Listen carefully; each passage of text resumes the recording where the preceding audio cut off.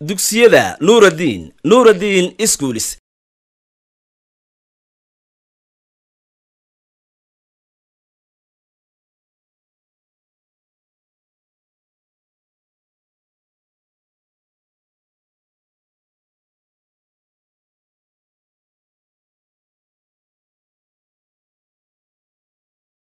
ardayday ku soo dhawaada casharkeenii shanaad ee jabtarkeenna shanaad maalintii hore halkaynu ku kala tagnay ayaynu ka sii wadaynaa. Waxaynu maalintii hore ku kala tagnay. Su'aasha in la isku soo dayo. Su'aashaasi waxaa laynagu uhi calculate the energy. Calculate the increase in kinetic energy of a car of mass 800 kilograms. When it accelerates from 20 meter per second to 30 meter per second. Shaygani waxa uu leeyahay laba speed. Labadaa speed mid kasta waxa uu leeyahay kinetic energy gaara maadaama mid kasta kinetic energy gaara leeyahay kaa hore kinetic energy-giisii wuu kordhayaa. Oo kaa dambe markuu speedku noqdo labadaa speed inta udhaxaysa kinetic energy-giina wuu kordhayaa. Markaa su'aashu say u taallaa waxaa laynoo weydiiyey inta ku korodhay kinetic energy-ga ee laynama odhan kinetic energy soo saar laakiin waxa lagu intee in leeg ayaa kinetic energy-gii ku kordhay. Dabeetna halkan markaynu sidaa u eegno waxaynu haysanaa gifankeenii marka koowaad maaskii baynu haysanaa oo waxaa layna siiyey inta uu noqday shaygaa maaskiisu intuu ahaa speedkii koobaad oo v one aynu u bixinay speedkii labaad oo aynu v two u bixinay iyo qaacidadii aynu ku isticmaalaynay markaynu kinetic energy-ga soo saarayno marka waxaa laynooga baahan yahay laba kinetic energy. Si aynu ogaano inta kinetic energy-ga ku kordhay waxaynu soo saaraynaa kaa koobaad markuu ahaa. Kinetic energy-gu intii uu marayay speedka labaad markii uu yeeshayna kinetic energy-gu intii uu gaadhay. Dabeetna labadaas ayaynu kala ayaynu kala goyn doonaa ka koobaad haddaynu ka wada shaqeyno aynu halkaa iskala soconno. Waxaan leenahay kinetic energy-ga waxa oo loo soo gaabinayay k e waxaa lagu helayaa one divided by two m oo u taagan maaskii times v square. Dabeetna halkaa markaynu dhigno one divided by two maaskeenii aynu ku bedelno oo ah eight hundred kilograms times speedkii oo la isku weeray speedkeenna koowaad waxa uu ahaa twenty meter per second. Isagana waynu isku weeraynaa labadaa ayaynu u qaybinaynaa siddeedda boqol waxaa inoo soo baxay afar boqol oo kilogram times. Waxa uu inoo noqdo twenty meter per second square oo isaguna inoo noqday waxa uu inoo soo baxay four hundred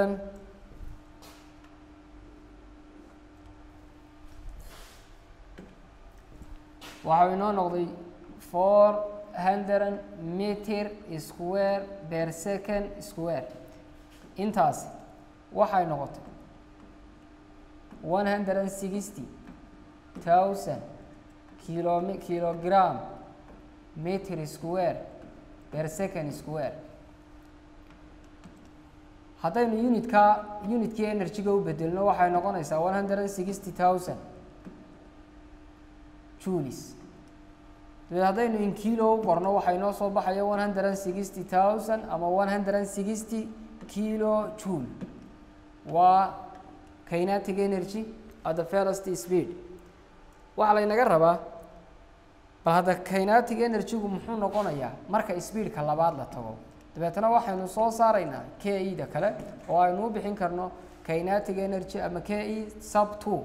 Kinetic energy-gii speedka labaad isagana qaacidadu waa tii uun. Haddaynu dabeetana ku bedelano si dhaqso ah waxaynu haysanaa. One divided by two times. Maasku isma bedelin waa intii uun. Waa eight hundred kilograms. Haye. Times. Fiidu laakiin way isbedeshay oo waxay noqotay thirty meter per second. Square-kiina inoo raaci. Intaasi waxay noo noqonaysaa labadaa markaynu isu qaybino iyaga waa four hundred kilogram times teni waxay noqonaysaa nine hundred meter square divided by second square. Labadaa haddaynu isku dhufano waxaynu haysanaa three hundred sixty thousand kilogram meter square per second square. Haddaynu iyadana u qorno in kilowis waxaynu haysanaa saddex boqol iyo lixdan kilo juul weli ansarkeenni maynaan gaadhin waxaynu soo saarnay laba kinetic energy oo kale noqonayay kii koowaad oo ahaa boqol iyo lixdan kilo juul iyo kii labaad oo ahaa boqol iyo saddex boqol iyo lixdan kilo joule increase baa laynaga rabay. Inta uu shaygaa kordhay kinetic energy-giisu dabeetna haddaynu increasekii soo saarayno increase in kinetic energy. Waxa uu noqonayaa oo uu inoo leekaanayaa kinetic energy-gii labaad oo laga jaray kinetic energy-gii koobaad kii speedka koobaad iyo kii speedka labaad labadii kinetic energy baynu kala jarayna kaa hore wuxuu inoo kaa labaad wuxuu inoo soo baxay saddex boqol iyo lixdan kilo joule minus kii labaadna wuxuu inoo ahaa boqol iyo lixdan kilo joule labadaa markaynu kala goyno waxay noo noqotay inta ka soo hadhay ee inoo soo baxday laba boqol oo kilo joule maxaanu leenahay therefore the increase in kinetic energy is two hundred kilo joule su'aasheenii ama tusaalaha layna weydiiyey ee aada isku soo daydeen halkaa ayuu inoogu dhammaaday waana ansarkii saxda ahaa waa kaa marka qofka saxay halkan waa ka idinku yaalla isagoo ka shaqaysan waa inuu soo saaraa ansarkaa waa inuu ansarkaasoo dhammaystiran uu soo saaraa. Waay maanta waxaynu qaadanaynaa oo inoo dheeraada oo laynagu hi farther examples of mechanical energy. Bal hadda tusaalayaal dheeraada oo waxaynu qaadanaynaa ku saabsan tusaalayaal dheeraada oo ku saabsan mechanical energy-ga. Potential and kinetic energy labadii oo bal hadda wada socda. Inuu qofku kala fahmi karo kolba ka layna weydiiyey waxaa laynagu a box with mass with a mass of 12.5 kilogram cities on the floor. Box ama kartoon sanduuq ay wax ku jiraan oo miisaankiisu yahay labiyo toban point five kilogram ayaa cities on the floor. Wuxuu dul yaallaa floorka ayuu saaran yahay. Haye how high would you need to lift it to have a gravitational potential energy of 375 joules si aad energy intaa leego gravitational potential energy uu helo ama uu qaato intee in leeg bay tahay inaad kor u qaado marka qofku waa inuu fahmaa talow maxaa lay weydiiyey? Halkan waxaa lay siiyey haddaan gifankayga ka bilaabo waxaa lay siiyey gravitational potential energy-gii waxaa kaloo lay siiyey maskii waa lay siiyey. Gravity-ga ama jiidana waan aqaanayo waxay ahayd tan newton per kilogram oo constant bay ahayd. Marka macnaheedu waxa weeye height baa layna weydiiyey oo waxaa layna yidhi intee in leeg how high will you need to lift it to have a gravitational potential energy of 375 joules? Si intaa in leego gravitational potential energy u yeesho intee in leeg bay tahay inaad kor u qaado halkan bay inoogu taallaa shaqadii oo dhammaystirani bal hadda qof kastaa si degan ha u eego marka koowaad waxaa layna siiyey qaacidada la isticmaali doono.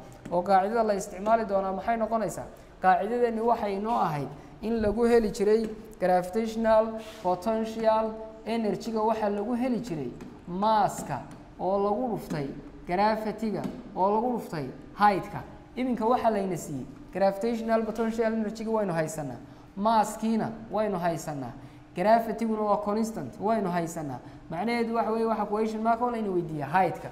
Dabeetna qaacidadeenii waa inaynu height-ka ka dhignaa subject of the formula.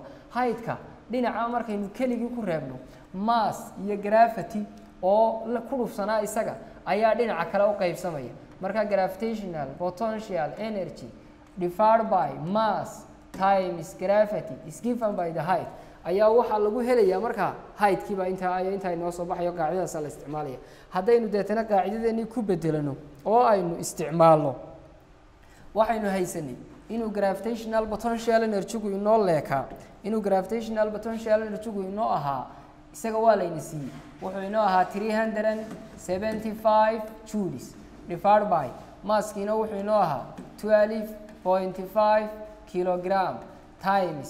Waxaa kaleynu haysanaa gravity-giona inoo ahaa 10 newton per kilogram. Kilogramka iyo kilogramka markaynu iska reebno waxaa inoo soo baxay halkaa inuu inoo lo 375 joules divided by 125 newton. Height baa laynaga doonayay. Labadaa markaynu isu qaybino tree baa soo baxay. Height-ka unitkiisu waxa uu noqonayay meter. Marka waa inaad juliska fahantaa inuu ka kooban yahay newton meter.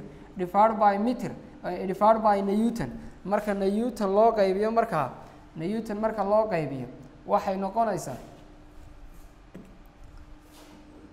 halkaa divided by newton inay labadii newton isla baxaan. Macnaheedu waxa weye haydka sanduuqaa kor loo qaadi loo baahan yahay in kor loo qaado si uu u helo energy leeg saddex boqol iyo shan iyo toddobaatan juul waa saddex mitir. Saddex mitir marka kor loo qaado sanduuqaa yar ayaa waxa uu helayaa gravitational potential energy ah three hundred seventy five joules. Waay waxaynu waynu sii wadanaynaa tusaalaheena labaad ayaynu tegaynaa. Tusaalaheena labaad waxaa laynagu yihi an apple in a tree has a gravitational potential energy of 17.5 joules. And a mass of 350 grams. How high? From the ground is the apple? intee in leeg buu haddaba bal tufaaxa yari ka sarreeya baa laynagu yihi dhulka geedkaasuu ku yaalla ka soo qaad inuu yahay ka geedka halkaa kaga yaalla ka geedka halkaa kaga yaalla dhulkiina halkaasaa inoo cabiran. Marka intee in leeg haydka uu dhulka ka sarreeya xabaddaa tufaaxi ayaa laynaga doonaya bal intee in leeg ayay dhulka ka sarreysaa marka haydkaasaa laynaga rabaa inaynu sidii oo kale mar labaad aynu soo saari karno. Intaa haydka oo ay noqonayso intaasi ayaa laynaga doonaya inaynu soo saarno. Waa inaynu gifankeenna hore u sii ogaanaa bal hadda waxa aynu haysano dhammaan. Halkaa waxaa layna siiyey.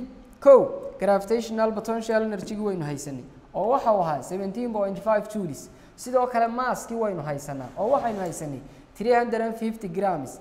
Marka loo bedelo kilograms waayo qaacidadeenna markaynu energyga calculationka ku jirno waxyaaba aad xasuusnaanayso waxaa ka mid a inaan maaska lagu isticmaalin marnaba aan lagu isticmaalin grams. Ee haddii lagu siiyo in grams or in other, in other, any other unit waa inaad u bedeshaa kilograms. Kilograms baad u bedeleysaa dabeetna markaynu kilograms u bedelnay waxa inoo noqday zero point three five kilogram. Waxaa kaloo isaguna gifan inoo ahaa constant oo aynu haysanay. G ama gravity-gu waa tan newton per kilogram. Haydkii baa layna weydiiyey. Markaa qaacidadeena sida aynu u isticmaalayna waa sidii aynu uga shaqaynay tii hore oo noqonaysa in haydka aynu ku heli karno gravitational potential energy divided by mass times gravity masskii waa imikaas wuxuu inoo ahaa g b e waxay inoo ahay seventeen point five jules divided by maaskeenina wuxuu inoo ahaa zero point three five kilogram times. Gravity-gii oo ahaa ten newton divided by kilogram. Labadaa inaga reeb.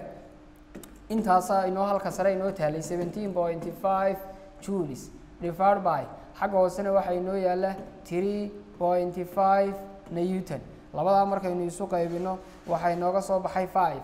Waa height baynu soo saaran therefore the unit is meters. Five meters ayuu tufaaxa yari ka sarreeyaa dhulka. Tufaaxa yari waxa geedka korkiisa ku yaallaa uu dhulka ka sarreeyaa shan mitir markaa iminka haydkii waynu haysanaa ama xabadii tufaaxa intay dhulka u jirtay oo waa imisa waa five meters. Haddii laynagu dha imika markaa xabaddaa tufaaxa dhulka imisay ka sarreysaa waxaan leenahay five meters oo haydkii baynu haysanaa haydkii waynu la soo baxnay marka waa five meters. Waayo tusaalaheena kaa ku sii xiga ayaynu u gudbaynaa. Waa calculationkeenii aynu qabanaynay oo halkaa inooga muuqda isagoo si dhammaystiran loo qabtay. Marka waa inuu qof kasta si fudud u eegi karo oo uu isha u marin karo aanu la socon karo. Waay dabeetna waxaan leenahay tusaalaheena saddexaad ayaa halkaa inooga bilaabmaya if a fifty kilogram stone is six meters above the ground haddii dhagax uu maaskiisu ama culayskiisu yahay miisaankiisu yahay cufkiisu uu noqonayo conton kilogram uu dhulka ka sarreeyo six meters haye whats it gravitational potential energy? Bal hadda muxuu noqonayaa gravitational potential energy-gu sidii hore aynu u soo fahnay aynu u shaqayno. Maxaa layna weydiiyey? Gravitational potential energy-ga waa question mark. Maxaa gifan oo aynu haysanaa? Waxaynu haysanaa maaska. Waa imisa?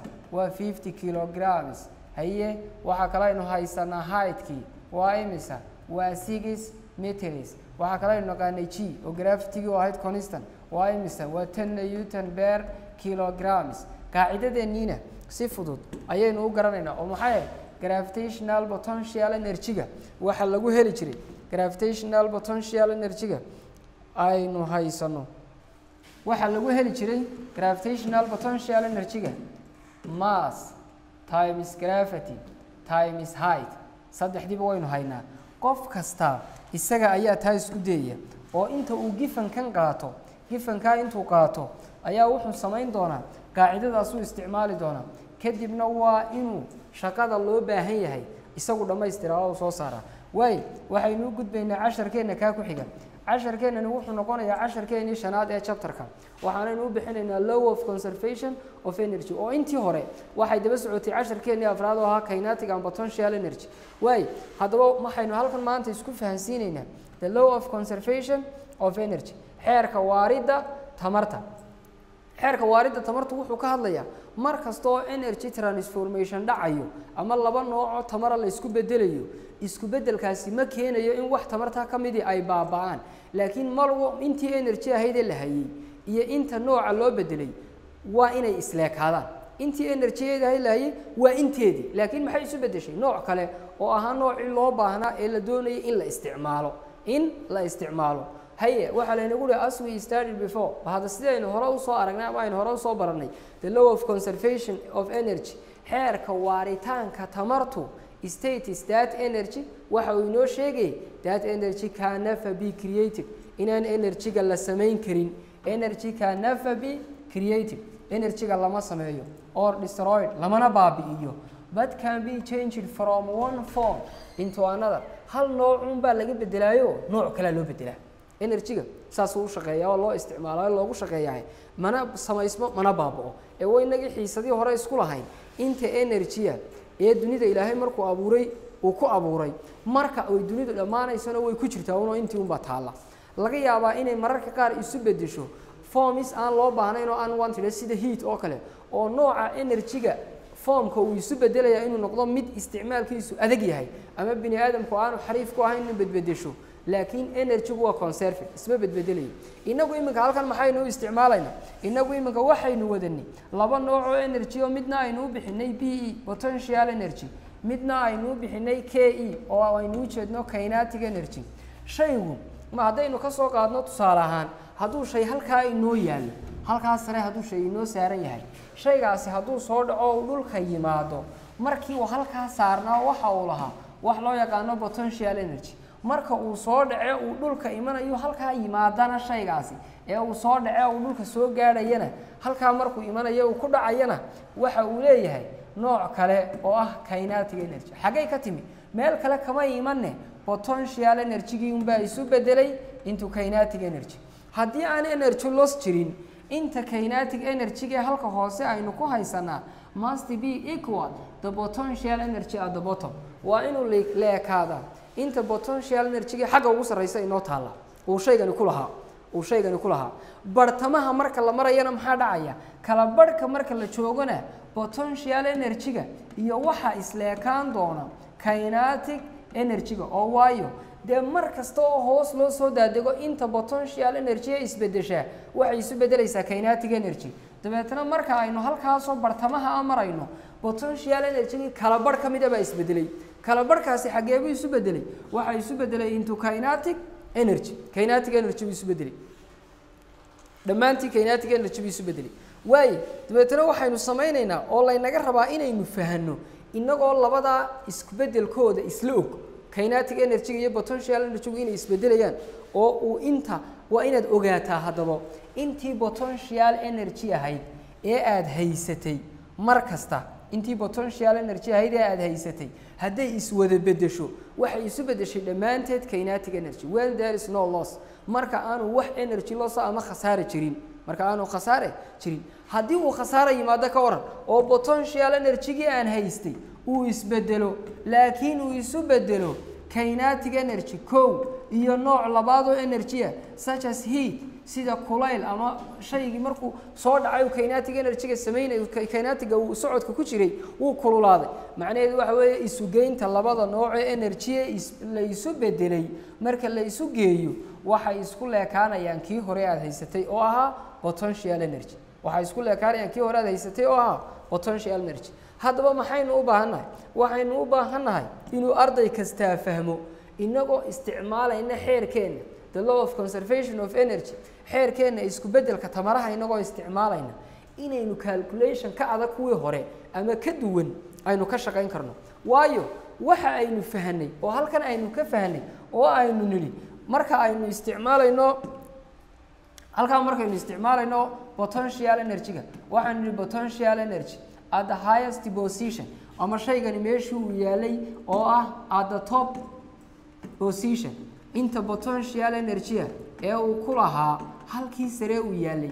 Is equal to or is is equivalent to waxa ay leeg tahay inta kinetic energy-a ee the bottom halka hoose ee the bottom. Markii uu halka hoose yimi innagoo haddaba taa naqaana waa inaynu calculation kuwii hore ka badan aynu qaban karno. Xiisadeenna koobaad ee halkaa ayay noogu joogaysaa ee maanta wasalaamu calaykum waraxmat ullahi wabarakaatu